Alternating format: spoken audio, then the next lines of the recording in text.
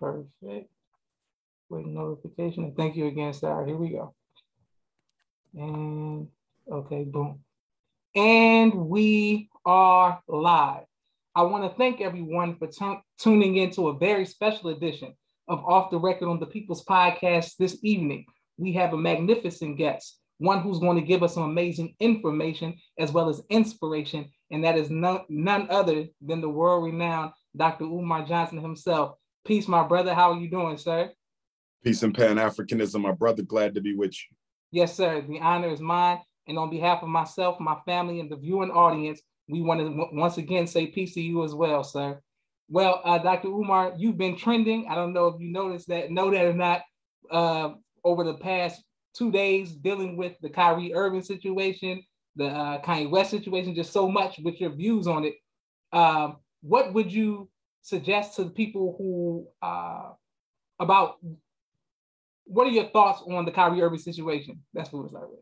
I think that as I hear and listen to people in our community respond and chime in on the situation, I think it's important that we take both a microscopic view of what's going on as well as a macroscopic view of what is going on. And mm-hmm. what I mean by that, on the microscopic level, this appears to be an issue involving two celebrities and the European Jewish community on the microscopic level. But we have to zoom out and look at this situation from a much wider view. Mm-hmm. And that is to say that the greater issue at stake here for all of us is the freedom of speech as it relates to Black people in general. I'm looking not only at Kanye West being silenced for saying things that go against the dominant European narrative, Kyrie Irving being silenced for saying things that go against the dominant European narrative. We just saw a sister get fired from MSNBC for a comment she made on someone's podcast while she wasn't even at work. Um, we saw Jalen Rose uh, forced to apologize yes, for giving an honest opinion and one that I agreed with as related to the Ime Udoka scandal. So, what I think is going on right now is I think the power structure is trying to create an atmosphere where Black people in general and celebrities in particular are no longer able to give their God given opinions mm, on any issue relevant to us as a people. And now, seeing what's happening now, I would dare argue that the cancel culture, the cancel culture may have very well been invented by the white power structure and has come 360 and may have originally always been aimed at canceling the free Black voice. Because mm. one thing we know when they target African people, they never focus directly on us when the initiative is first brought forth and let out of the bag. So, for example, if we look at AIDS, we were originally told that the AIDS virus was for gay white men. Hmm. So most black people said, well, wait a minute. I'm not gay and I'm not a white male. So AIDS couldn't possibly have anything to do with us. And now AIDS is the number one killer of heterosexual or one of the top killers of heterosexual black women. It was always designed to eliminate black life. But when they released the AIDS virus, they propagandized it from the perspective that this is about gay white men, so black people would not even think twice about AIDS. Mm-hmm. And then it now and now look at the way it's ravaging the lives of black women. And we've seen other things go on this way, you know, where it looks like it has nothing to do with us at all. But in the final analysis at 11:59, 24 hours later, we recognize, wow, this whole thing may have been about us. Me too. When Me Hmm. Too movement first started, it looked like it was just about going after white men who were sexually harassing and victimizing black women. And then they ended up lynching Bill Cosby with it, right? And then it came to other black men with it. And we like, wait a minute, we thought Me Too was white women getting back at black men. Now we see Me Too all along was about destroying black males, but they had to get the momentum up and they had to get us to co-sign it to give it the momentum. And then by the time it gets around to us, it has gained so much steam that we can't turn it off. You look at Barack Obama's presidency. Many Black people saw Obama as a weapon against racism. But in the final analysis, and now we look at Obama in hindsight, which is always 2020, Yes, sir. we see Barack Obama wasn't a weapon against racism. Barack Obama was a weapon for racism. Mm, mm. Barack Obama is the president who stripped Black people of all their rights and all their stature in this country as a so called minority group and gave it to every other people except us. Here's the one thing that we need to be clear about. When Barack Obama became president, we were already doing bad. That's not his fault. But what is his fault? Even though we were already doing bad, we were the priority minority. Mm. We were the priority minority in America Mm. from the beginning of British North American slavery in 1619 until Barack Obama became president in 2009. Mm. We were the priority minority. Every president, every governor, every mayor, every congressperson, every state legislature had to have a position on Black people as it related to every issue. They may not have done nothing for you, but they had to give a position statement on where do you stand with Blacks. Mm, mm. Now, here we are in the post Obama era. Tomorrow, my brother, as you know, is election day, midterm sir. federal elections. Yes, sir. You got over 30 governorships up. You got over 400 Congress seats that will be decided tomorrow. And guess what? Not a single campaign. 435 congressional seats, not a single campaign. Over 30 governor seats, Mm. not a single candidate or campaign is dealing with any issues that are critical for Black people. Mm. Why? Because Barack Obama made it so that you don't even have to talk about Black people no more. You don't even have to give an opinion on Black people no more. Police are killing Blacks like it's going out of style. So what? The Black unemployment rate is at its highest mark since the 60s. So what? Mass incarceration, the Black population inside prison is twice the percentage of the Black population outside of prison in every single state in America. Let me say that one more time, my brother. Yes, sir. Yes, sir. Your percentage of the prison population in the state you live in, I don't care if you're in California, I don't care if you're in Pennsylvania, I don't care if you're in Texas, Illinois, I don't care if you're in Michigan, Georgia, Carolinas, every single state in this country, the black percentage of the incarcerated population in that state is at least twice the black percentage of the population inside the state. So let's take Pennsylvania. Black people are 10% of the population of the Commonwealth of Pennsylvania. We are 50% of the prisons. Mm. We are five times our rate in jail that we are in the society. Not a single candidate dealing with it. Police genocide, not a single candidate is dealing with it. Mass incarceration, I just spoke of that. Miseducation, not a single candidate. Economic justice, economic apartheid, which includes reparations, but is no means limited to that. Nobody's dealing with that.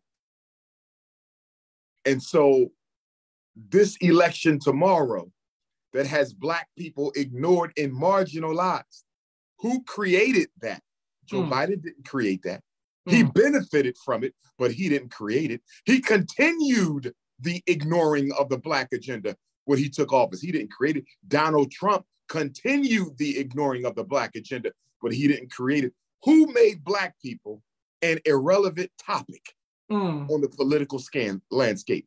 Barack Obama. So, getting back to your question, good brother, this cancellation of Kyrie, this cancellation of Kanye West has me really deliberating on whether or not cancel culture from its inception was aimed at canceling Black people who dare to publicly challenge the white power structure's narrative. Hmm. Yes, sir. Excellent. And Dr. Umar, you have so many people showing you love all across the country. Both of my sisters saying peace. Uh, people saying Assalamu alaikum, uh, Sister Pamela, Brother Robert, everybody, Brother James, people from all across the country, Brother James, Brother Marcel. Thank you everybody who's showing you love. Can't wait to put this on YouTube. Now, Dr. Umar, uh, what is a solution? How do we combat cancel culture? Here's the issue.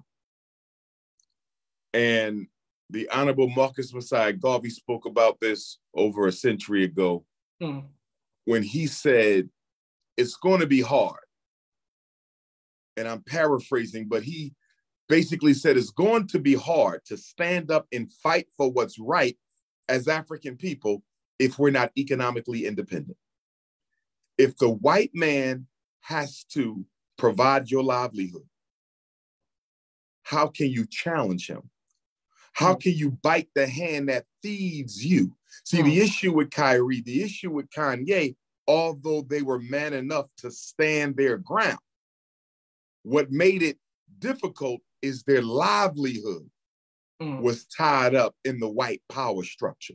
When we look at all these buffoons and coons in the black plantation media, the Jalen Roses and the Charles Barkleys and the Shannon Sharpes the Shaquille O'Neals and the Michael Wilbons and the Jason Williams and the Richard Jeffersons, these Negroes, their livelihood is tied up in white sports media. And so we often see Black people put in very uncomfortable situations when it's time to speak truth to power. When you're being paid by the power, you have to speak truth to. Mm, so mm. if it's one thing we're learning right now, a lesson we should have already learned. Yes, sir. Yes, sir. and sir. that is without economic independence, it's going to be almost impossible for you to fight for your people. One of the things that allows me, and I think the Most High God for putting me in that position, even though the work is still tough. Yes, sir. Yes, sir. You know, the work is still tough. As you know, being a member of the Nation of Islam, the work is still tough for the Honorable Minister Louis Farrakhan, even when you're independent. It's tough even when you're independent. There's no way I could do what I do if I had to go and push a clock for the white power structure every day. Mm. Because the greatest of all slaveries is economic slavery. Mm. Until you free yourself from dependency on the white power structure for employment, you can't really call yourself free.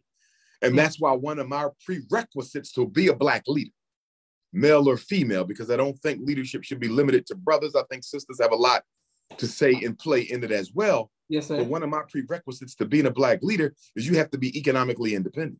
Mm. When I mm. see people stand up and say, I want to be a leader, but you work for the white power structure, I automatically know that there's a timetable.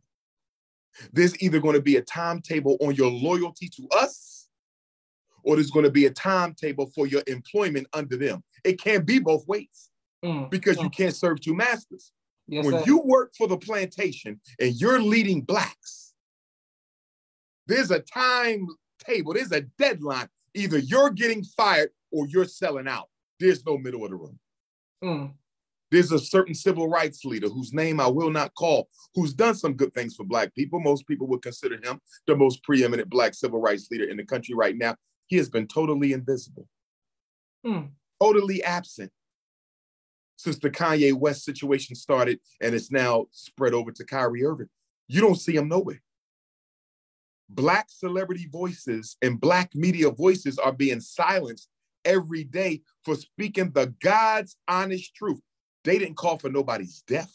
They didn't call for nobody's torture. They didn't call for nobody's punishment. They're simply giving an opinion and are having their lives destroyed for giving an opinion. Kanye West didn't say somebody needs to be hurt, murdered, lame. Kyrie didn't say that. All these other black folks being canceled by their networks, they didn't offer no violence to nobody. But look at the double standard. Look at the double standard between the way America reacts to Kyrie Irving tweeting a DVD available for sale on Amazon. He tweeted a DVD, didn't say a word. Yes, sir. No hate speech because he didn't speak. He tweeted a DVD. And look at all the attention and all the people rushing to the defense of the untouchables because of a tweeted DVD. But when Black people were being murdered in the streets by police, and we still are, we didn't get half the press. We didn't get half the attention. We didn't get half the compassion. We didn't get half the empathy that the untouchables are getting. Look at what they're getting over a tweeted DVD. Yes, sir. Yes, sir. Compared to the response Black people got for actual loss of life. It is a double standard, it is hypocritical, and it is unacceptable. Unacceptable. Yes, sir. Dr. Umar, you teaching and people showing you love all across the country. Thank you all for continuing to like, share, subscribe to the People's Podcast. Okay, Dr. Umar, my next question is you spoke of the Honorable uh, Marcus Garvey. And I always had a question because my mother, she was very um, strong on teaching my, me and my siblings about Marcus Garvey, many of the Black history legends. Um, but he, towards the end of his life through my study, you know, even he, the it's almost like Black people, we turned on him. We let him down. What keeps you going when you know that so many of our greats, at some point, the people it seem like they do all this work. I'm not saying it's in vain, but it's like the masses of our people, we still fighting this fight so many years later after the great honorable Marcus Garvey. What keeps you in the fight to not quit? Yes, indeed. And of course, we know one of the tragic themes of the Honorable Marcus Garvey's life here in America was that the preeminent Black leadership of that day, A. Philip Randolph, W.E.B. Du Bois, Cyril Owens, Chandler Briggs, the integrationists, the nationalists, the Marxists, they all came together and went to the United States government and begged them to get rid of Garvey, to deport Marcus Garvey. The leaders, I want, I want to make sure people understand this now. Yes, sir. Yes, sir. The primary leaders of the Black community came together, went to the white power structure, and said, please send this man back to Jamaica. They were so jealous because Garvey could do what no one had done then and we hadn't seen done since, and that is organize multiple millions of African people all across the world under a single flag and a single mission of the red, black, and green. And hmm. because Garvey had the charisma, none of them had. Garvey had the organizing power, none of them had. Garvey had the vision that none of them had. Rather than work with the man, they wanted to destroy him mm. because that ego of the Negro, which is the greatest threat to the progress of our people, has been a consistent theme throughout Black history. We've seen where Black leaders have silenced or attempted to silence other leaders who were better at doing what they were doing. And so, unfortunately, the government concurred. And J. Edgar Hoover, who was hired, his first job in the FBI mm. was to bring down Garvey.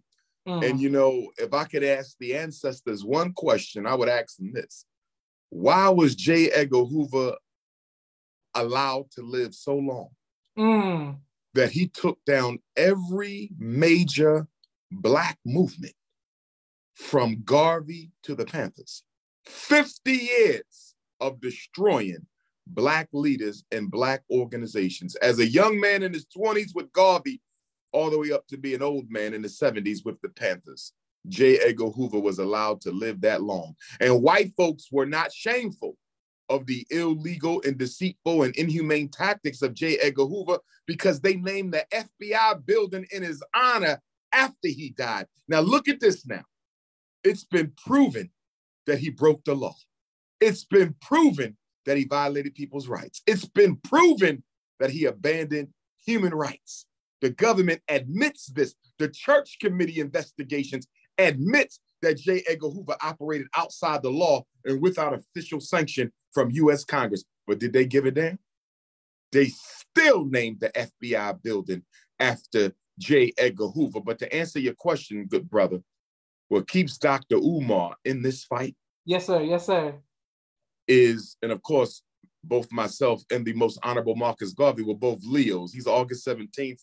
I'm August the 21st. Okay, okay, yes, sir. Uh, what keeps me in this fight, and of course, we have other Pan Africanist Leos, His Majesty Emperor Haile Selassie I.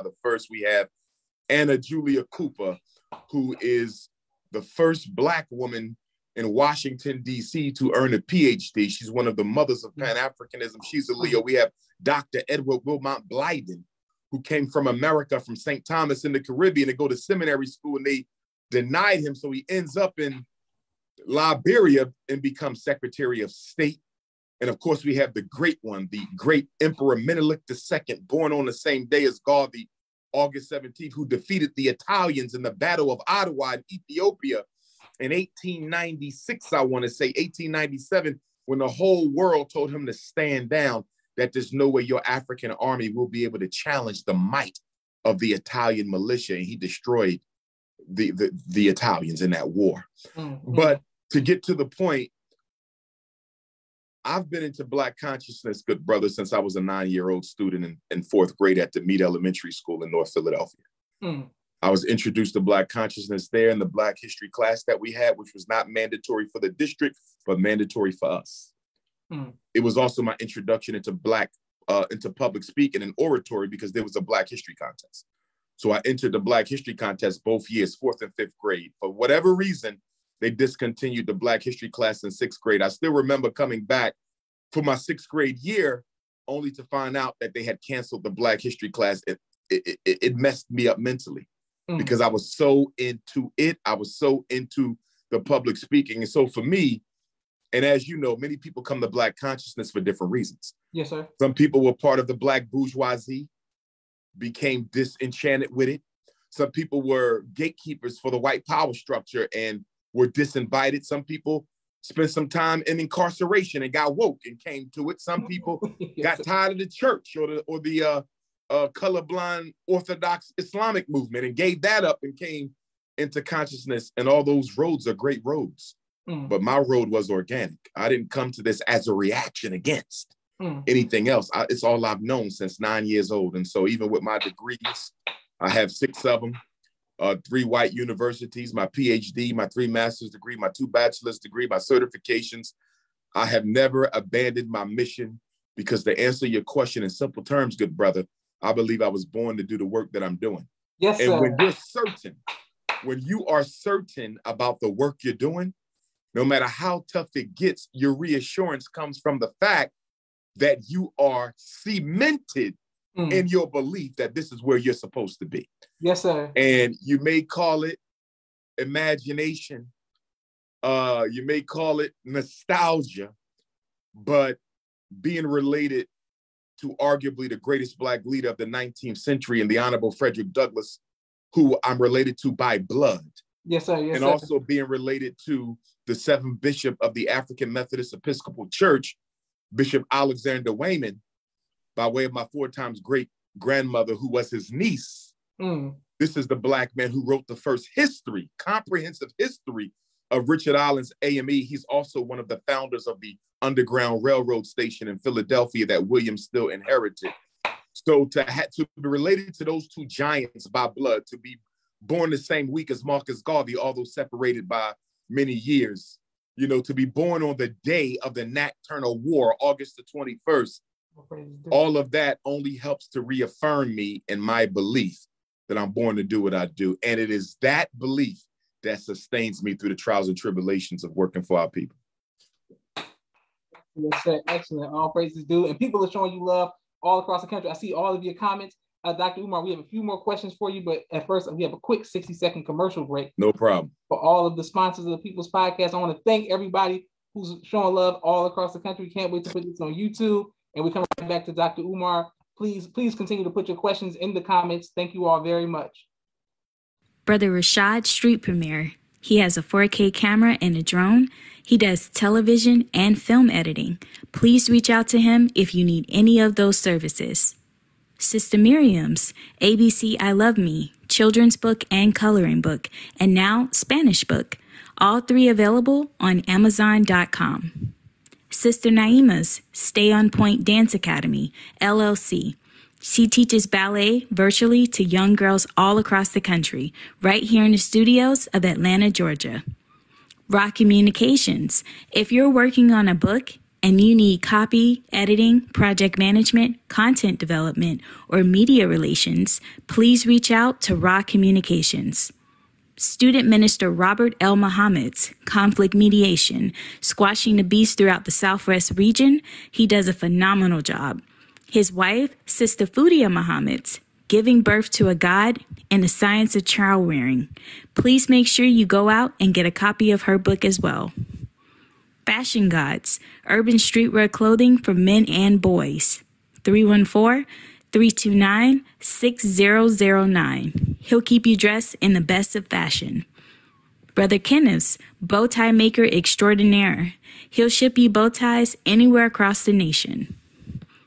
Taj Hollywood's Chemistry 6 episode, a new television series out on YouTube. He's looking for actors and writers. Make sure you support him. Keep It Hood, helping others overcome depression. Also by Taj Hollywood. Brother Aaron's Elevated Places, Stress Management, Real Estate, Credit, Repair, and Restoration. His Respect for Life Center. They do personal wellness, philosophy, emotional, and mental spiritual wellness. 229 344 1474. Dr. Henry Carter's King Henry Turkey Legs, right here in Atlanta, Georgia. Brother Rashad Muhammad's COVID 19 disinfected cleaning services out of Chicago. Student Minister Sharif Muhammad's book, A Soldier in a Movement of Christ, available on adulsharif.com.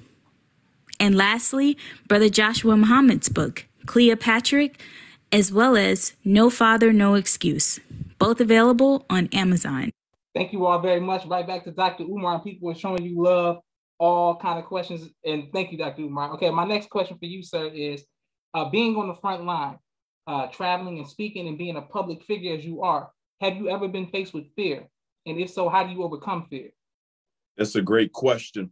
And before I answer that, for the benefit of your listening audience, I want to let them know that number one, and I'm sure you'll probably ask a question on this whole education thing with our children anyway. Yes, sir. But I want them to know that if they ever are in need of any consultation mm. uh, for their children, if your child is in public school and they're picking on them, or you see racism showing up, or the teacher isn't giving him the right grade, or they want him evaluated for autism or a learning disability or a speech problem or an emotional disturbance or ADHD or conduct disorder, where they want to put your baby on some Ritalin or some Adderall or some Concerta or some Cyclert or some Metadate, you don't know who to turn to to find out whether you need to be making this decision or not, feel free to reach out to me, Dr. Umar Johnson. Saving our children is what I'm about. Education and mental health is my expertise.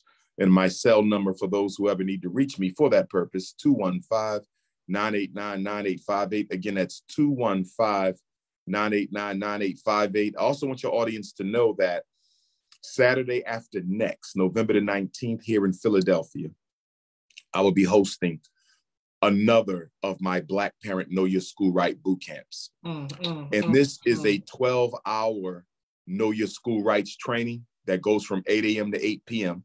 We do take breaks, we do cater lunch, we do provide refreshments, and it's a lot of fun. But I teach parents everything they need to know to be effective as an advocate in the mental health institutions and the educational institutions. So we go through the disabilities, we go through the 504, we go through the IEP, we go through the behavior plans, we go through the intervention plans, we go through the psychological evaluations, the federal education laws, the state policies, discipline law, and rights. So if there's any parents who want to know how to be in a position to better advocate for their children, join us in Philadelphia. It's open to any African parent in the world who feels the need to come and get the education. It'll be taking place in Philadelphia, November the 19th, and they can register for that on my website, drumarjohnson.com, or they can text message me for the link.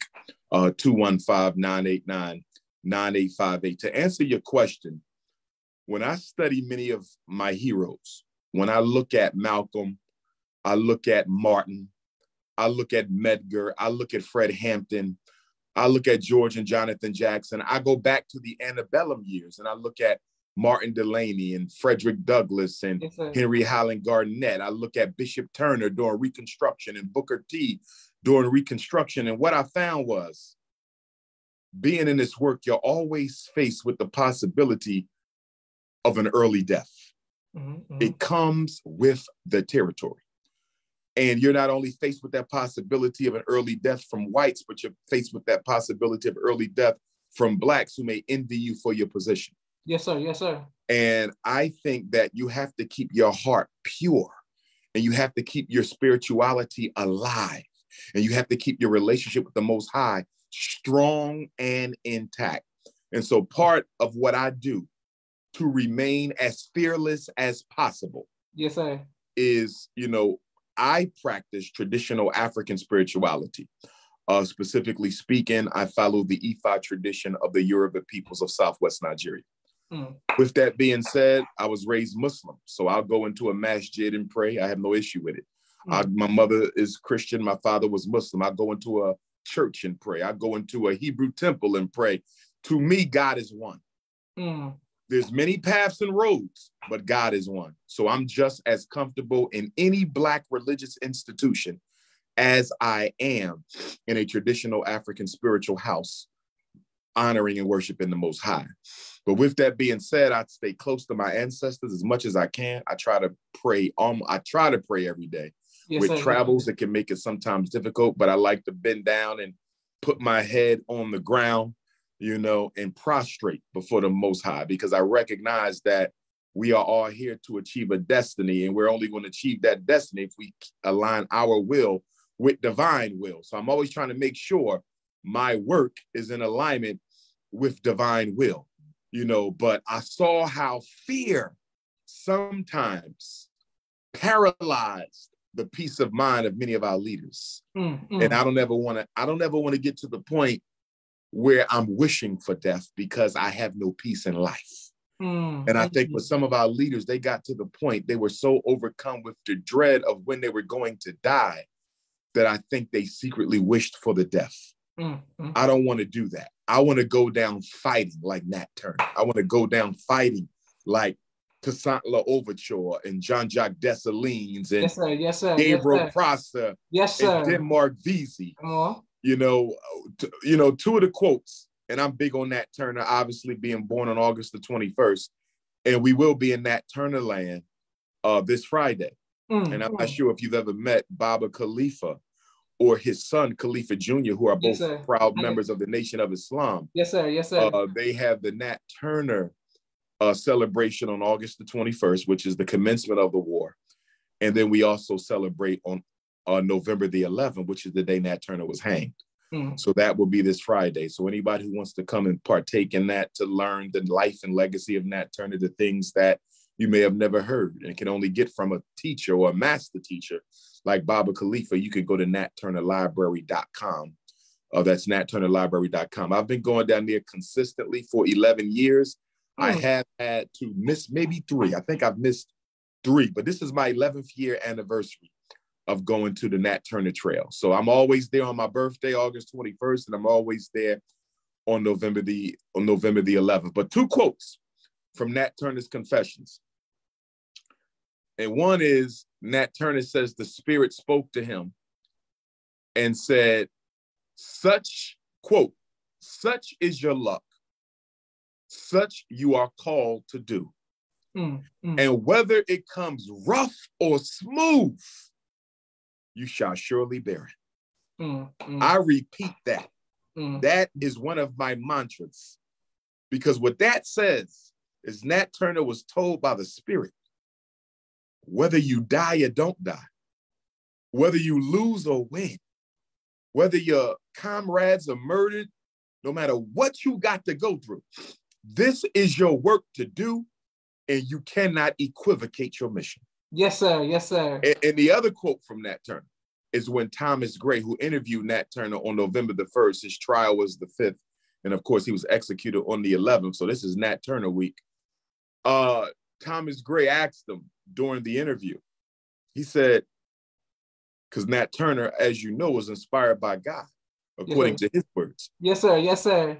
And because from the European perspective, he was unsuccessful. From the European perspective, they didn't understand that 191 years later, Nat Turner would be inspiring us right now.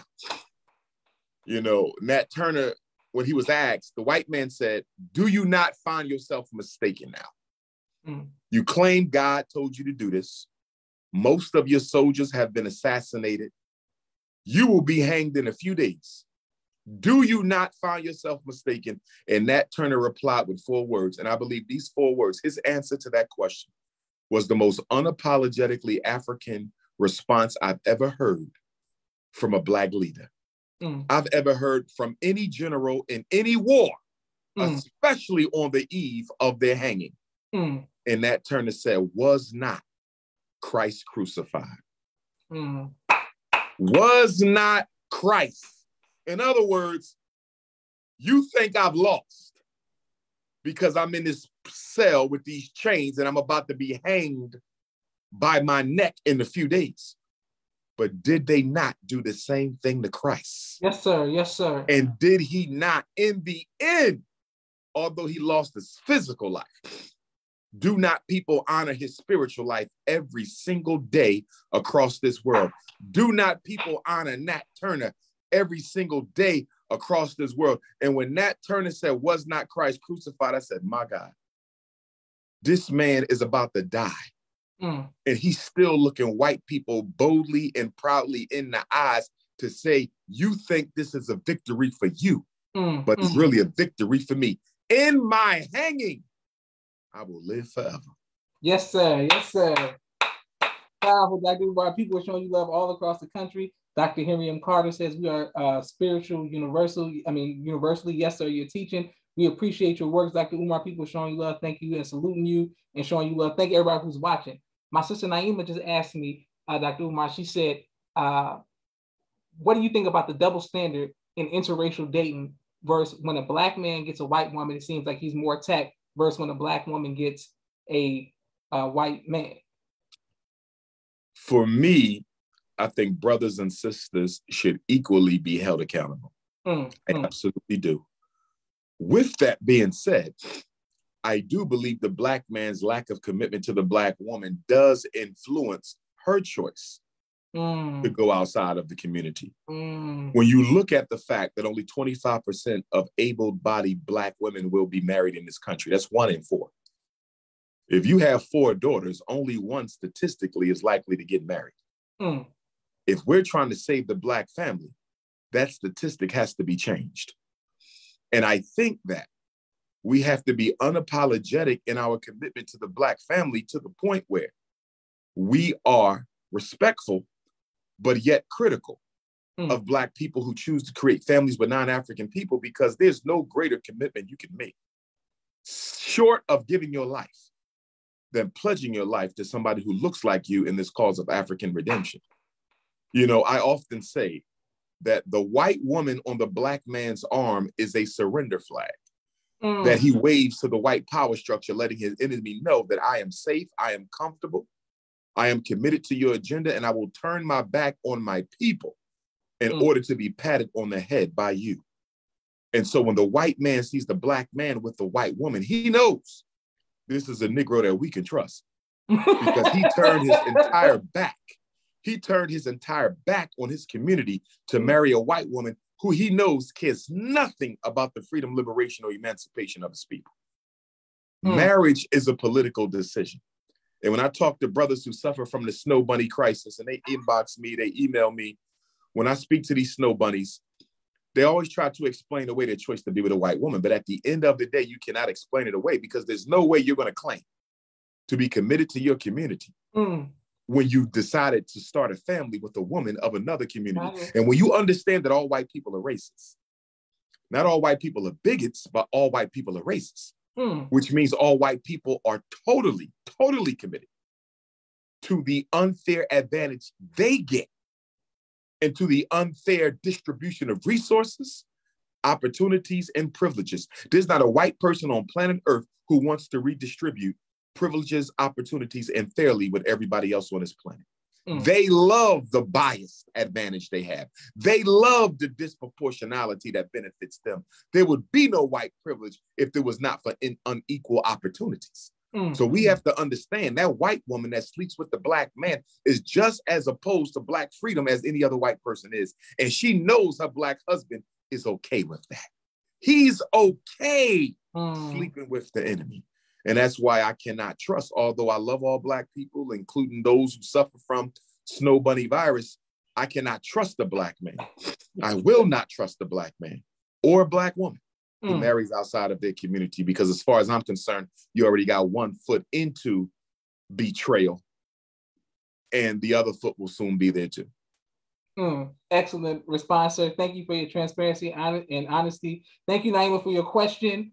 Um, my, my next question for you, sir, is what about it with the opposite of conscious, somebody who's enlightened, knowledge of self, they are conscious, but they attract to some a black person or African, um, but the sister may not be as conscious. She may be more wild, or vice versa. The brother may be um, more worldly or street, but the sister's very conscious. What about that dynamic? She needs to be careful mm. because I hear from plenty of queens in the conscious movement who are struggling with the fact that she is awake and her king is asleep.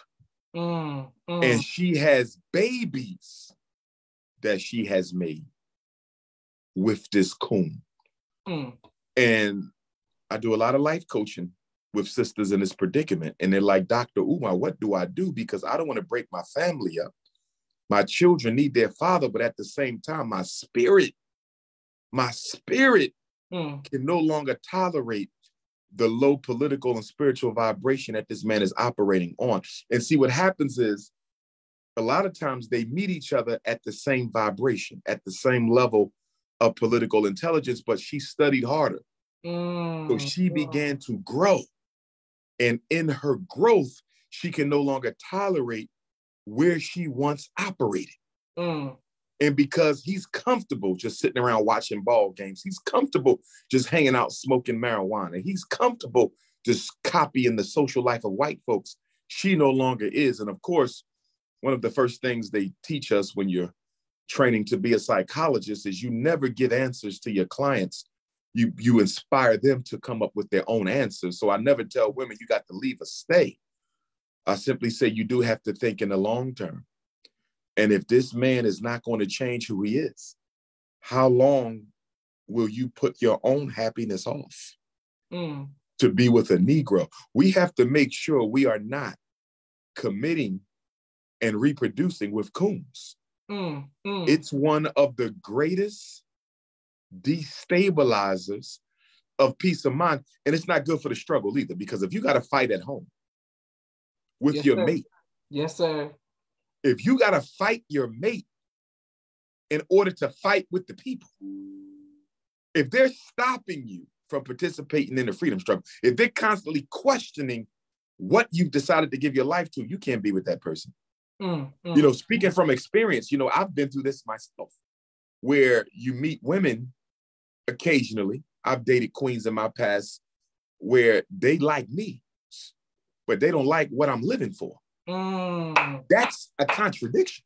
Yes, sir. So yes, basically, sir. what you are attracted to is the superficialities. You like the doctorate degree. You like the social stature. Mm. You like the global presence. You like the six foot three with the beard. You want me for the superficial. yes, sir. Characteristic. But you're telling me that my life is dedicated to Black people, even until death. And you want nothing to do with my political struggle, mm. but you want to be my queen? Mm. You want to raise my children, but you want nothing to do with my political struggle. Then you want nothing to do with me. Let me make this decision for you. Mm. Because if you think I'm just looking for a pretty face, you come to the wrong place. If you think mm-hmm. I'm just looking for a dashiki and a head wrap, you've come to the wrong place. Okay. Don't get me wrong. Your mate doesn't have to be as diehard as you, but she has to have conscious leaning. When people see her, they got to see a reflection of you. Yes, sir. And I yes, think sir. too often in the conscious community, not to judge nobody because none of us are great enough to judge others, but you see where there's people who date women who have nothing to do with the political struggle. Mm. A lot of brothers in the conscious community are dating women who have nothing at all to do with the struggle. I mean, weave wearing, uh, white Louis bag, white friends, white. Li- I mean, their life is a total contradiction of what he claims to be about, and this is his wife. And I would never say nothing to a brother about his wife. That's your wife, but I will say something about you if you ask me. And I would have to tell him, black man, you live in a lie. Mm. There's no way you're going to tell me that you are about the freedom of African people and your wife is about the total support of white capitalism and white society and white culture. You can't serve two masters, my brother. Mm. There's Mm. no way in hell you believe in this and she don't. You're sleeping with a woman who could care less about what happens to black people, but yet you claim to be totally committed to what happens to black people. You're living a lie, my brother. You're Mm. living a lie. She don't have to be as dedicated to the struggle as you, but when I see her, I should see some reflection of you. And if I don't, you're a hypocrite. Damn. Yes, sir. Yes, sir. yes, sir. Okay. So you, Umar. First of all, thank you, Sister Salima says 100 a lot. People says, damn, that's deep. People showing love. Sister Jamila Fia, everybody showing love. Okay, great. Thank you all for all across the country. What advice would you give to someone, right? I'm a single man and I, I feel like I'm enlightened. I got the knowledge of self and I'm looking, right? So what advice would you give to somebody who's single, who's looking, who I don't, I want my other half, you know, to be like, okay, I want you, if you never, when you meet me, because we're gonna meet, you know, God willing soon, and whether I gotta come to Philly or not, because I really want to pick your brain. I'm, I admire you very much, Dr. Umar. And but if you saw my wife or you saw my queen, my other half, I want you to be like, oh, that makes sense that he's. How, how do you? What advice would you give about picking and choosing someone? I would say if you're in the struggle for our people, Yes, sir. you have to put your wife to work with our people Mm, mm, to see if she's what our people needs. mm. So as I study sisters, I'm looking to see are you what the people need to see next to me? Mm, mm, So. I'm looking for a sister. Five things are mandatory. okay. They're not the only five, but they're mandatory. Yes, sir. Number one, are you secure enough in yourself to be with a man who gets the type of attention that I'm going to get from sisters? Mm. That that's important Yes, sir. because if you date a woman who's antisocial or insecure or jealous of other women, it's going to show and it's going to undermine your ability to bring our people together. Mm, mm. So you have to make sure you put her to work to see how she works with other black women. You got to see how she works with other black women. yes, the sir. worst thing you can do is get a woman that other sisters do not like. That's number one. Number two, she cannot be a bourgeoisie. okay. And a lot of our sisters have been stung with that bourgeoisie bug. Absolutely. You have to make sure she's not a bourgeoisie and elitists carry that air of arrogance. You know, I've met good sisters in the past, but some of them were too elitist in their mindset. They saw themselves as better than other women. And my wife cannot be a sister who looks down upon sisters. You Mm. have to be humble and you have to have a grassroots spirit. I'm not interested in hierarchy. I'm not interested in hierarchy. I'm interested in organization. Mm. Number three, she got to be able to hold you down Mm. which means she cannot be a chatty patty because you have enemies and you're going to make enemies in this work. As Brother Malcolm said, if you ain't got no enemies, you ain't working. That's right. And That's you got to right. make sure that when she has, when you two are at opposition, can she hold her peace long enough for y'all to work it out?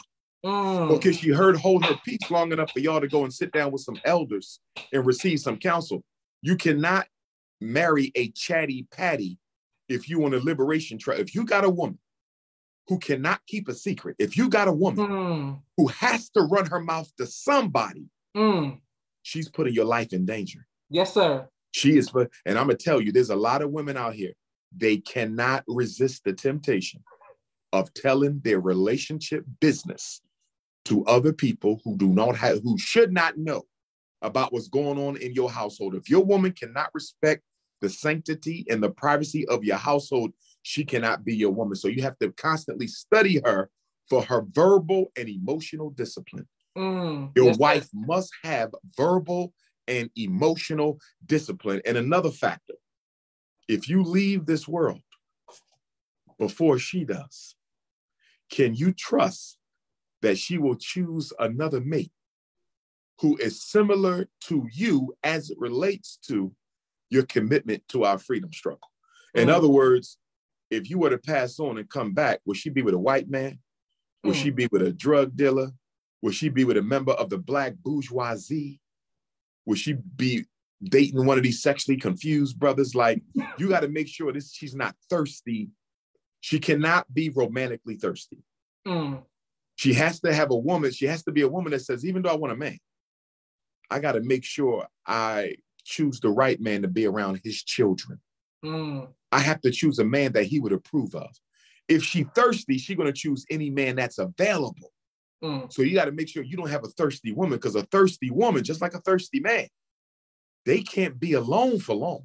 Yes, sir. And they will settle for anything that shows up. So you got to make sure she's not romantically thirsty. And the fifth thing, she has to have her own life within the struggle. Mm. She has to have her own life within the struggle because if she is a woman who wants a husband who lives a traditional nine to five life, and there's nothing wrong with that. If you want you a nine to five husband, you know, a regular brother, he works, comes home, and he spends the rest of the day with you. Nothing is wrong with that. But it is unfair for a woman who wants a fairy tale life to be trying to be wed to a revolutionary brother. Mm. Revolutionaries and activists don't live white picket fence lives. Mm, mm. They're not home every day at five o'clock. Mm, mm. and you have so you have a lot of sisters, and this is not a weakness. I want to be clear. It's okay if a sister is so in love with the idea of love that she needs her man to stare in her face all day long. Nothing's wrong with that. Yes, but sir. get you a man whose lifestyle is conducive. Mm. Don't get you no activist. Don't get you no community leader. Don't get you no revolutionary because you might go weeks before you see him again. Mm. You might go months before y'all can go out on a date if y'all can go out at all for purposes of safety. Mm. So, mm. you know, when you are a Betty Shabazz, a Coretta Scott, a Amy Garvey, a Anna Douglass, a Myrlie Evers, you don't expect to live a storybook life. Mm, okay. You are the wife of a revolutionary. And because of that, romance takes a backseat to revolution. As you always hear me say, revolution over romance. That's right. That's right. Politics over punani. Consciousness over the cookies. Organization over intimacy.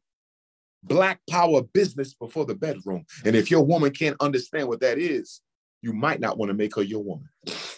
Mm. Dr. Umar dropped the gym, y'all. That's free game. Thank you very much, Dr. Umar. Thank you very much. Um, people, uh, people in the comments who never watch are just really just need to. They're really trying to slide in your inbox at this point, where all of the compliments. They just really. Uh, he gave out his number earlier, so you all can uh, text him. Uh, my next question for you, uh, Dr. Umar, is you didn't say nothing about looks. Uh-huh. You, didn't, you, didn't, say that. About, so you saying honestly, Dr. Umar, as a man, you know, man to man, you know, mm-hmm. don't matter. You won't judge a man based if his woman fine or not. You ain't ain't nothing. nothing. Well, remember now, you have your preferences. Okay. Okay. And then you have your non-negotiables, right? okay. Okay. You may have a preference for an attractive woman. You always hear me say, I love them five five thick in the thighs with natural hair. That's my preference. Yes, sir. Yes, sir. But if I find a sister who's not curvy, I tend to not be attracted to petite women, right? Mm-hmm. I love mm-hmm. curvy sisters. Mm-hmm. But if I come across a petite sister or a full figured sister, okay, okay, who has everything that I need in a wife, but she simply lacks the phenotypical, I'd be a fool to overlook her for Mm. looks. You Mm. understand? So even though physical attraction is what initially allows us to gravitate to a particular system, it can't keep you there Mm. if the non-negotiables are not there. So yes, I have, we have as men our physical preferences, but that preference should not blind you to what the non-negotiables are. Physicality cannot override the universality of having a queen that can be a ride or die in this movement. Because if you get you a narcissist, Mm. you get you one of these histrionic sisters, OCD, who are all they do is look in the mirror all day long. There's some Hmm. sisters on Instagram, no disrespect at all. All they do is take selfies. They can't have a job.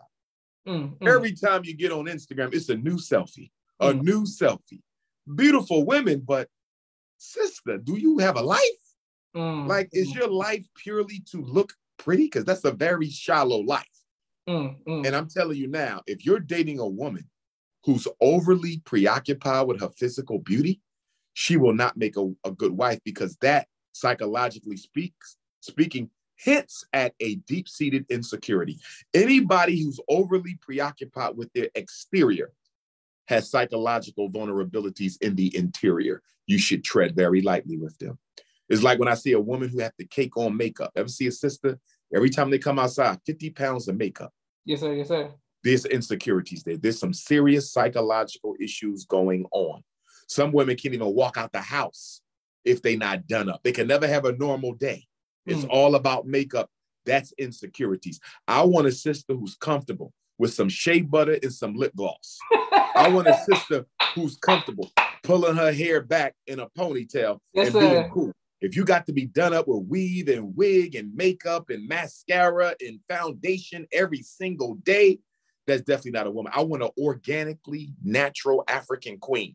Mm. Hair got to be natural though. That's a not that is a non-negotiable for me. natural hair. Oh, got to be natural. got to be natural because natural hair is a psycholo- it's a political statement. Mm. When a black woman walks into a space with her own hair, do you know what she's telling everybody in there? Whatever you think about it don't matter. Mm. I like it. Mm. When a black woman rejects European standards of beauty, that speaks volumes about her character. Mm. But more than that, I'm an educator. I'm going to be building schools for the rest of my life. yes, sir. And, and when we open up these schools, Frederick Douglass Marcus Garvey Academy, when we open up these academies across the world, it won't always be boys. We will be opening them up to girls too. Mm. And when those princesses come to school and they see Dr. Umar's wife, Mm. what do they say when she got a blonde weave? Mm. What do they say when she got a wig? What Mm. do they say when she got green contacts and 10 inches of, of, of makeup on her face? They're going to be confused. Mm. Mm. Dr. Umar is the founder of the unapologetically African movement, and his wife values European standards of beauty. It's a contradiction, my brother. My wife got to be nappy. She has to make the same statement as I make when it comes to our physical presence. I cannot marry a woman who cannot show her true hair. Mm. Okay, great. Let's stay right there, Dr. Umar. People showing you love all across the country. Thank you all for your comments and your people. I, so many questions, but I want to ask you: natural hair. Suppose her natural hair is straight. Then that's fine as long Okay, as it's natural. okay. You know, when we say happy to be nappy, we're speaking of the fact that many of our ancestors come from the western side of the African continent where their hair is quite nappy, right? Yes, sir. Yes, sir. But we have various phenotypes in Africa. In fact, every phenotype of the planet is represented on the mother continent because Africa is more diverse within herself. There's more diversity in Africa than there is between Africa and any other people. Mm. We are so diverse. So in- in East Africa, you tend to see the more European type features or features we associate with Europeans, you know, the thin lips, the thin nose, cheekbones that are not so prominent, a, a body that is not so curvy on the woman. Yes. Okay, straighter hair. We have that phenotype in Africa. And you have sisters in America whose ancestors came from East Africa because what a lot of people do not know, good brother, is when the British and the Americans started suppressing the slave trade from West Africa, many of the slave trading companies snuck around the horn of South Africa and into East Africa. Mm. And they connected with the Arab slave traders in East Africa, and they would get their cargo of Africans from the East Coast rather than the West Coast. So some of the people, some of us, as you look at us in America, you say, wow, my mother got straight hair.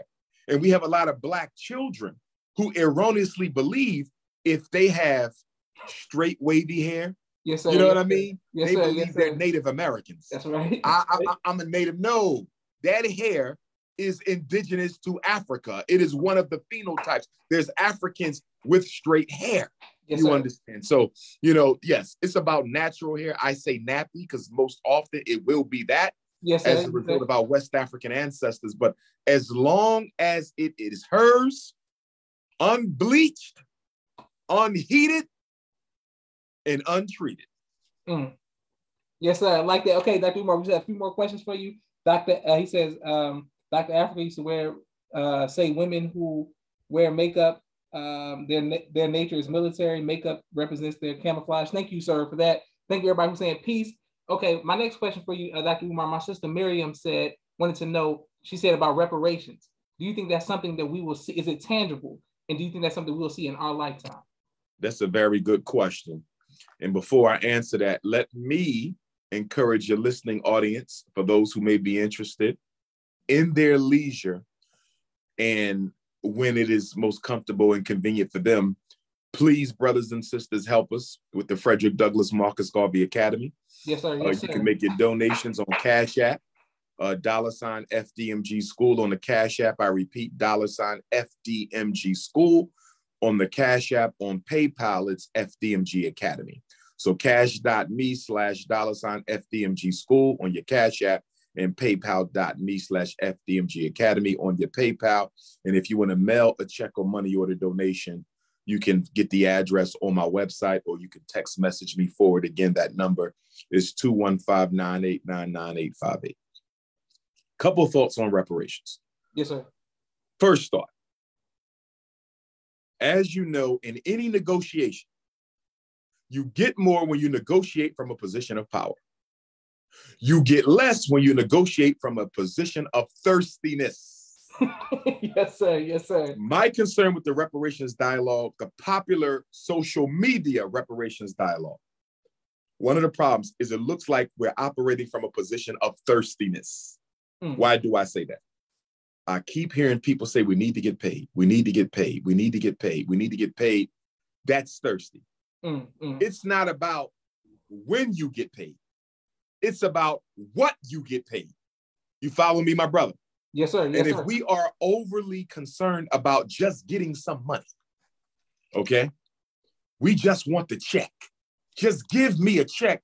If you just want the check, the government will give you a check, but it won't be what your ancestors deserve or you.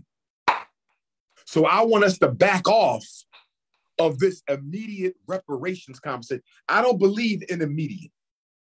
And let me tell you why. yes, sir. Yes, sir. Number one, we need time to finish working through what the reparations package should be. Mm, mm. We need time to organize the many divergent forces that are operating in the reparations community. In addition to that, we don't want white folks think we're so greedy for a check that we forget what reparations is all about in the first place. Yes, sir. Yes, sir. This is about our ancestors, who most of us have failed to honor anyway, Mm. who we dishonor on a regular basis anyway. I'm seeing Negroes who live in white communities talk about we need reparations. I'm seeing Negroes with white spouses talking about we need reparations. I'm seeing sisters with 10 feet of weave, blind weave, talking about we need reparations. Yes, no sir. disrespect. But if I'm a part of the reparations distribution council, if I'm a part of the reparations district, if you got a blonde weave, you married to a white girl, you live in a white community, you don't get no damn reparations. Mm. Reparations are for African people who are interested in African liberation, politically, economically, psychologically, spiritually, culturally, and otherwise. Mm. You got a white wife, you ain't interested. You're not going to take my ancestors' money and give it to your white wife. You're out of your damn mind. Mm. You're out of your mind. You don't take black people's money and give it to white folks. Mm. So you're not getting no reparation. We need to have standards. Mm. Standards. If you even think to benefit from this, these are the behaviors we expect. I don't hear nobody talking about that. Mm. And, and here's the other thing reparations is a war. It's a war, it's an economic warfare. Yes, sir. Yes, sir. You and I both know you never go to war without an organized army. That's right. That's right. Why are these reparations people antagonizing the government for money when you haven't even organized the black community and got them behind you yet? Are you following me, my brother? Yes, sir. Yes, sir. Yes, sir. You you don't fight a larger, more organized army with an undisciplined, disloyal army. Black America is undisciplined and disloyal. Organize us, discipline us, get your troops in line. Then we go fight for reparations. Mm, mm. You got Negroes out here on some solo act talking about I'm the voice of reparations. You don't have consensus from us to speak for us. Mm. You don't have consensus from us to negotiate for us. Here's what I believe I believe that we could continue to organize for reparations, we could continue to intellectualize the reparations package.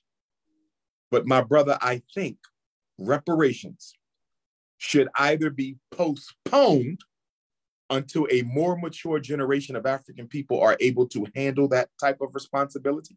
Mm, Because mm. I'm gonna be honest with you. I'm gonna be honest with you. 21st century Africans, those of us who are born or those of us who live at any time between 2020 and 2023, we have not demonstrated at all any accountability or responsibility towards our collective destiny. I don't see any reason why the 21st century African should be the custodian of reparations payout.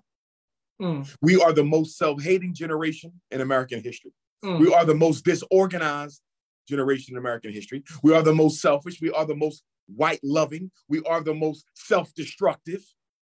Name me another generation of Black folks from 1619 to 2022. And we were here before that, but I'm dealing with British North American oppression. Yes, sir. Yes, sir.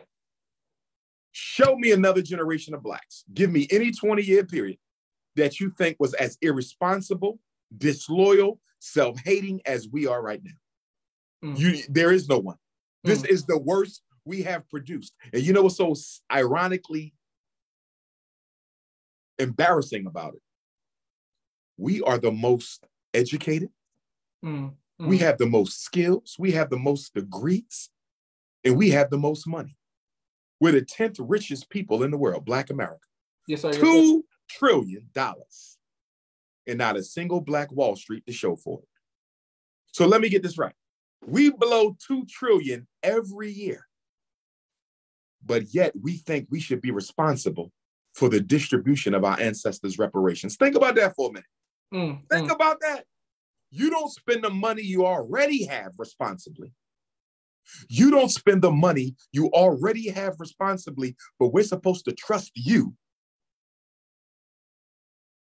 with the restitution package. And let me be clear reparations is not for us, Mm, it's for the entire community of Africans, past, present, and future. Yes, sir. Yes, sir. I ain't heard nobody say what part of this are we going to put in a trust for generations unborn. Mm, What percentage, if we were to get reparations tomorrow, my brother, what percentage of that reparation should be put in trust to future generations? I ain't heard a word about it. If we were to get reparations in our lifetime, my brother, I would want the whole thing to be put in trust to future generations. mm, We should not be allowed to touch it because we were wasted, my brother. We Mhm. and this is why I don't think money should be on the list. And if money is on the list, cash payout it should be at the bottom of the list. If you have to ask for money, do you know what you're telling me? Everything else on your reparations list must be inappropriate requests. Mm. Everything on your list, brother Joshua, should be wealth generating concessions. Yes, sir. Yes, sir. You understand me? Yes, sir. Control of natural resources, control of the ports, control of certain lands, control of certain industries, control of certain resources. What am I asking for money for? If what I need is appropriately laid out, I don't need a penny Mm. because everything else on my reparation list will generate the wealth that I need, brother.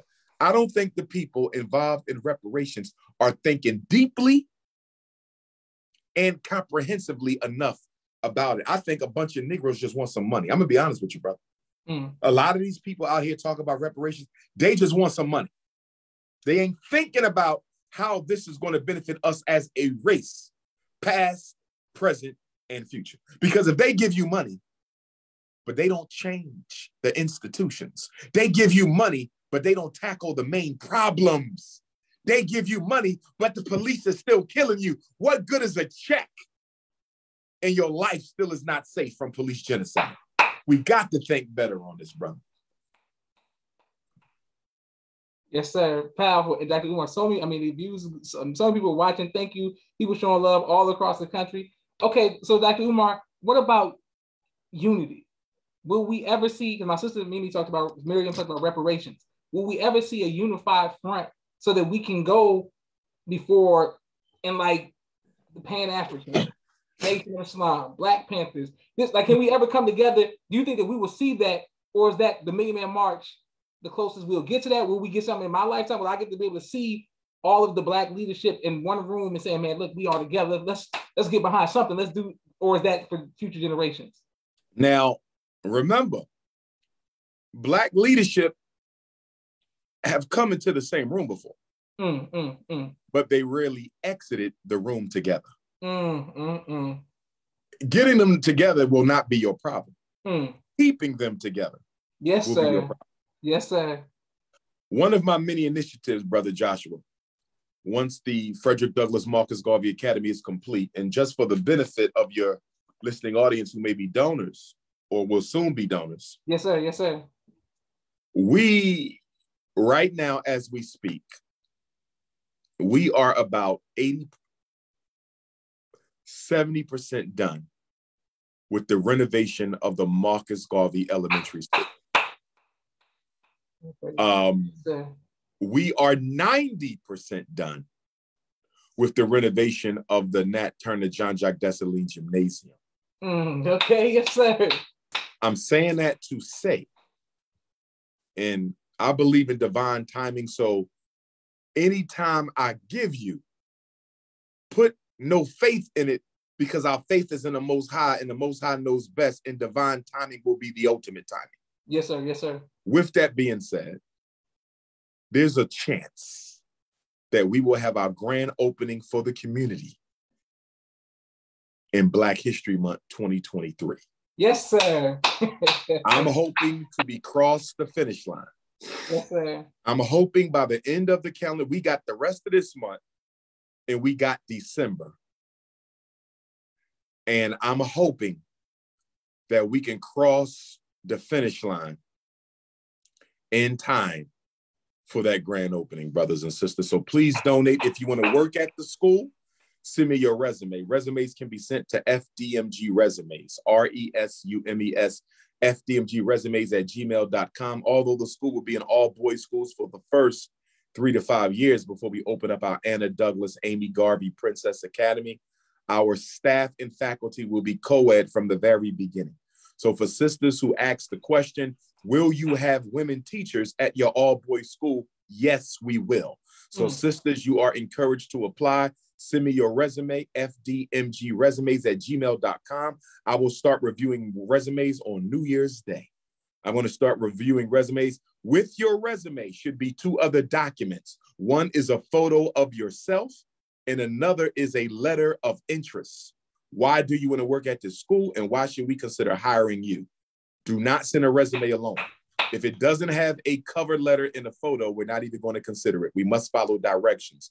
Sisters, if your hair is not natural, that's okay at this time because you know that if you get hired, you will show up with natural hair or I will cut you bald my damn self, right? So we want to be clear about that. But again, go ahead. You're urged to send in your resume, your cover letter, and your photo, a recent photo. FDMGresumes at gmail.com. Don't worry about being a certified teacher. Okay, don't don't don't let that be your main. A lot of people said, I'm not a certified teacher. Don't worry about that. The bigger question you should be asking yourself is do you have a skill that Black children need to learn? Mm. Yes, we need math teachers, we need science teachers, we need language teachers, we need social studies, but guess what else we need? We need diet and nutrition teachers. Mm. We need sisters who could do natural hair. We need brothers who could teach African martial arts, gun training, agriculture. Can you teach our children how to sew their own clothing? So we are trying to produce well-rounded African boys and girls. So don't ask yourself whether or not you're a teacher. Ask yourself, do you have a skill that is worth being taught to our babies?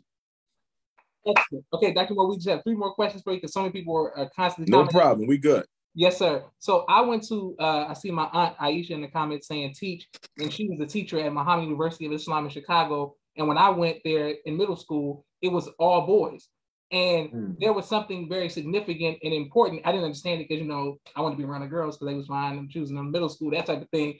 But I see the benefit of me bonding with brothers, you know, sixth grade, seventh grade, eighth grade. Many of people I'm still cool with to this day. It was just us. It was manhood. It was something about our junior FOI camps and things of that nature.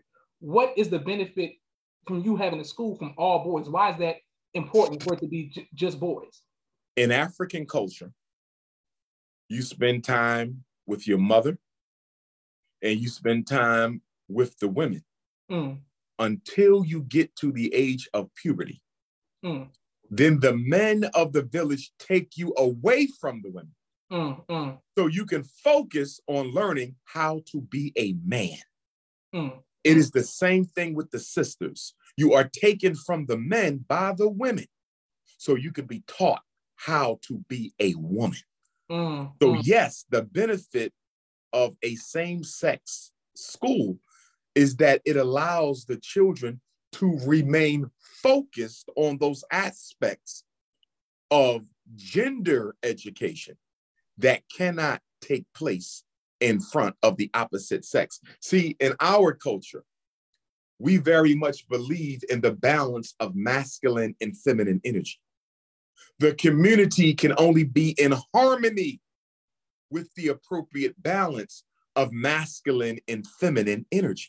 Yes, sir. Yes, sir. We don't believe, as America does, that it's perfectly healthy for children to be gender fluid. Mm. African people don't believe in no gender fluidity. You yes, are sir. born at birth assigned a gender. It's right there between your legs. It is clear. Okay, it, God has left no confusion. Yes, sir. Yes, sir. On whether you will carry the seed or whether you will plant the seed. So we don't believe in uh, gender neutrality and gender fluidity. We don't believe in boys becoming girls and girls becoming boys. That's not our culture. Yes, sir. We trust God and we trust the decision God made when yes, He assigned to us a gender, and we trust that the decision God made in choosing our gender is best for us, and it is a permanent decision that will take us unto death. Mm. See, in African culture, you have a destiny, and your destiny is assigned to your gender. Mm. So when you start messing with your gender, mm. you're messing with the very purpose for why you were put on this earth. Imagine a man who becomes a woman. But you had a masculine destiny. Mm. A woman who becomes a man. You had a feminine destiny. And I think a lot of Black people who are being caught up in this European sexual confusion trap, when they become elders, and it's time for them to get ready to go back home, because in Europe Yoruba culture, we say that earth is the marketplace, heaven is home. Mm. Heaven is home. Okay, okay. When it's time to get ready to go home, a lot of our people are going to have remorse, brother because you're not going to be able to face your ancestors as you go on up to God for judgment. And your ancestors look at you and say, wait a minute now. Wait a minute. Wait, what? Whoa, what? Wait a minute. God told us to assign you Mm, a masculine identity in this life. mm, Who gave you the right to undo what God did? mm, And I just think a lot of these political problems that we're having as a people in this country are going to become spiritual curses when it's time for many of us to go back home to our Lord. mm. You teaching, yes, sir, Dr. Umar. Okay, family, thank you all for so much for the questions, and please put it on YouTube. Dr. Umar, I just wanted to say this: the, in January, maybe closer we get to the school opening, I want to come uh, to the grand opening. You know, God willing, Yes, you do it. But can if you get a chance, you know, free we can- taxes. You know, everybody's getting paid their taxes. You know, after New Year's and things like that. If you come back on, I, I will make sure that we get some people to help. That's we can do like a fundraiser, something we can do to help you in that fourth quarter to Yes, help sir. raise this money because this is very important. I stand by it. Um, we stand by the People's Podcast and all of the believers and the supporters all across the country. Thank you for your great work. Like on a lighter note, what what is your favorite album of all time? Oh, wow. Um, favorite album. Yes, sir. That's going to be. I'll give you one, Okay. and I'm gonna go to R and B, All right. Let's go. maybe neo soul, if you would. I guess. Okay. John Legend's first. uh, Let me tell you what the albums that are significant to. Okay. Okay. 2Pacalypse Now is very significant to me Okay. because that was the album that cemented, that began my relationship with Tupac's music, Okay. Okay. which ultimately cemented him as my favorite hip hop artist of all time. Okay. If I had to give you a Tupac album, it would probably be either, I think, Me Against the World Okay. Okay. or All Eyez on Me might be my favorite. Oh, I know my favorite album. Well, albums is tough. I'm gonna give you songs. Albums are tough, Okay. but Tupac is my favorite artist, hands down. Okay. Yes, sir. Hip hop. Whitney Houston is my favorite female singer of all time, hands down. Okay. She's on. She's on the wall for sure. New Yes. Edition, my favorite male group of all time. Okay. You can't go wrong with the edition. Uh, lady group is probably gonna be En Vogue. Can't go wrong with En Vogue for sure. And- My most spiritually, how do I say this? The most spiritually relevant album for me is John Legend's first album. Mm, Now, mm. John Legend be doing a lot of cooning. I want to be clear. Okay, but his very first album, for I think it's called Get Lifted. I think it's Yes, Get sir. Lifted. That album was out when I took my maiden journey to Africa. Mm. 30 Days and 30 Nights as Minister of Education for the Marcus Garvey Movement, the UNIA ACL. And I'm listening to John Legend's album. When I get to South Africa, my luggage got shipped to a European country to be inspected. I was without my luggage for the entire South African trip. Mm.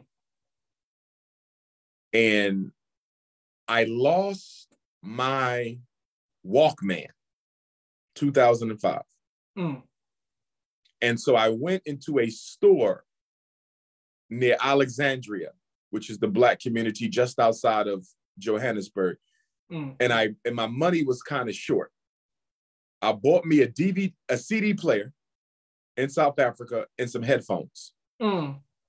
And I bought the John Legend album and I listened to that album, my brother, Yes, sir. my sir. entire 30-day trip in Africa. Mm, mm. And so when it comes to my connection to the continent, there's no album that puts me in the spiritual vibe of Africa like the first John Legend album. So when you come to FDMG, you will regularly hear songs from the first John Legend album playing because that was the soundtrack of Dr. Umar's first trip to Africa, which changed my life.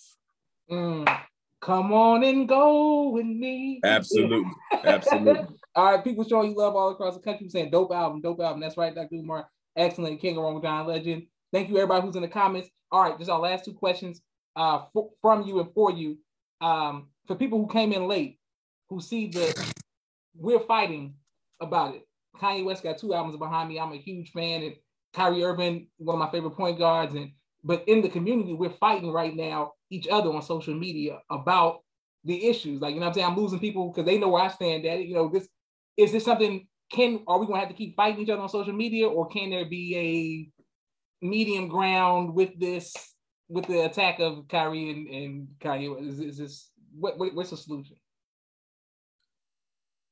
Believe it or not, most of the back and forth I see over this is not about whether they were right or wrong. Mm, mm. Everybody knows they spoke the truth. Mm. You know what we're split over? Whether it's best to say nothing and save ourselves than stand up and speak out and sacrifice for the people. That's the argument. Mm-hmm, mm-hmm. It is an argument of whether you are going to be a coward or whether you are going to stand up for the cause. That's where I'm seeing. I'm seeing people say, well, you know what? But he's going to lose all his money. Mm. That's because we don't care about the group anymore. It's all about self. When you listen to people talk about this Kyrie Kanye situation, my brother, they're fighting over why is he sacrificing all his money to tell the truth? Mm.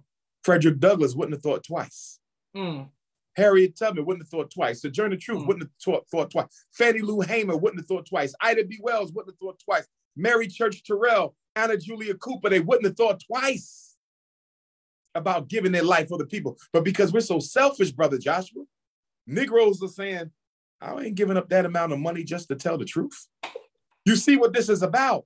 It's about selfishness because we, my brother, don't have any racial integrity. Mm. We're the only group in America with no racial loyalty at all. Our racial loyalty was switched out for religious loyalty. Mm. So we're religious, we're, we're, loyal to our religions, but we're not loyal to our people, mm. you see. Mm, mm, mm. So a Christian will call a white man his brother before a black man because he practices the same religion. Yes, sir. Some Muslims will call an Arab their brother before a black man because he practices the same religion. Mm, mm, we have to get back to our bloodline connections. I don't care what the religion is, we have an ancestral connection that's deeper. Yes, sir. We have a genetic connection that's deeper. We have a cultural and historical connection that's much deeper, but we don't rally around that. Our individuality is going to be our genocide if we're not careful. Our individuality is going to be our genocide if we're not careful. We better wake up and smell the coffee before it's too late. Absolutely. And thank you all. This is our last question to Dr. Umar. He's done a phenomenal job. Dr. Umar, my father was with the Honorable Minister Louis Farrakhan when they were in Mecca and, and in the Middle East, and they offered him so much money, said millions of dollars to come to Mecca and to come to the Middle East and teach. Mm. And black people behind. And my father said the minister never turned his back and he said that he would come back, he would rather be poor with his people over here than to be rich in Saudi Arabia and Mecca. So I think that it's very important that we have a, a self awareness uh, to our people first before any other religion or ideology or theology, if, that matters. Um, Absolutely.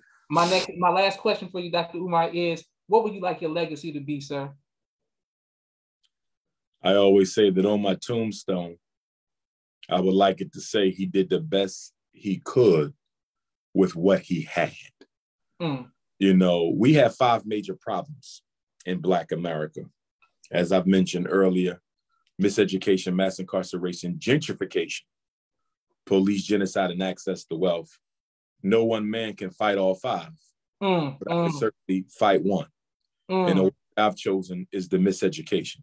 Mm, so yes. every day of my life is dedicated to helping parents rescue their children from that psychoacademic holocaust, that special education and ADHD war. Every day I'm helping parents do that. That's my legacy. That's my contribution to the struggle. The Black Parent Boot Camp that we're going to have in November the 19th, that's a contribution.